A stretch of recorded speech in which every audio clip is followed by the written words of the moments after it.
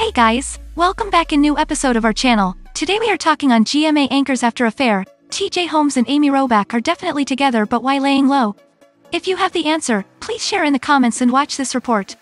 TJ Holmes and Amy Robach are definitely together right now, a source tells ET. After news of the Good Morning America anchor's romance went public, a source is giving ET an update on their relationship. Both TJ and Amy are trying to keep a low profile and let the dust settle, the source says. It's still unclear as to what, if any disciplinary action might be taken, but for now, both are laying low and trying to move on with life.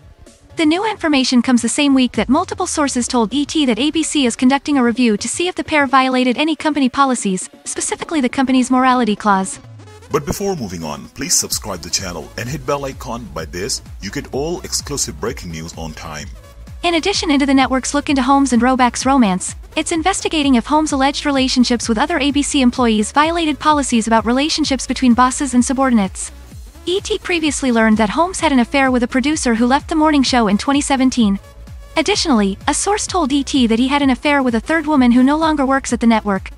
Kimberly Godwin, president of ABC News, addressed the situation during a recent editorial meeting, a source told ET.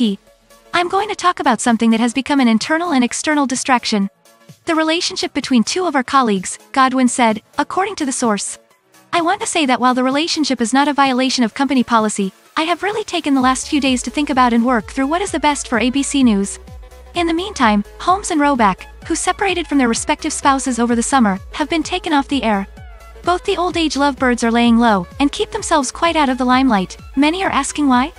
The same question we asked yesterday in one of our pinned comments. The central idea of the many hundred comments in the reply was quite shocking. Fans believe that the romance is not getting praised in the society as ABC also taking disciplinary action, so they are not coming up on the surface, but very happy these days, with their extramarital relationship, even after they have spouses.